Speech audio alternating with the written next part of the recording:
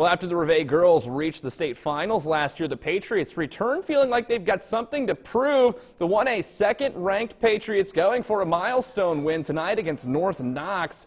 Early on, freshman Gracie Poe is going to find Mackenzie Muir streaking baseline. She lays it in. Warriors would take the lead on that bucket, but the Patriots buckled down on defense.